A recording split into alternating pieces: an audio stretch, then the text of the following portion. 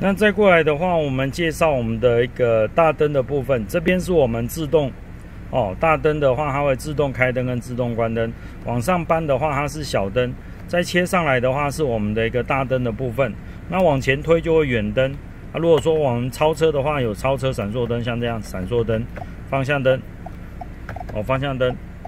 哦，那内圆的部分这里有一个，第一段是前雾灯。